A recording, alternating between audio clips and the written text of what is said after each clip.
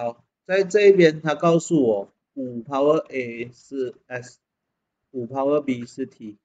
还有我们 express 这一个 in term of a b，所以我在这边我的五 power a 等于 s，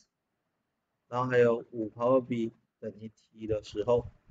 这一边它提供了我两样东西，第一样东西就是我的 a 等于 log 五 s，然后我的 b 等于 log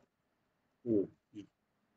So 我知道这两样东西之后呢，还有我们做这一个东西的时候，它其实就非常简单。我们只要把这一个换 base，怎样换 base 呢？就是换 log 五，log 五 s square over 五 t over 这一个 log 五五 t，OK，so 我上面这一边呢，它就会变成了二 log 五 s。然后再减 log 五五，再减 log 五 t，然后它下面这一边呢，它这一个 log 五 t 的话呢，它就是 log 五，没有 log 五二十五，不是 log 五 t，写错了 log 五二十五，这个是 log 五二十五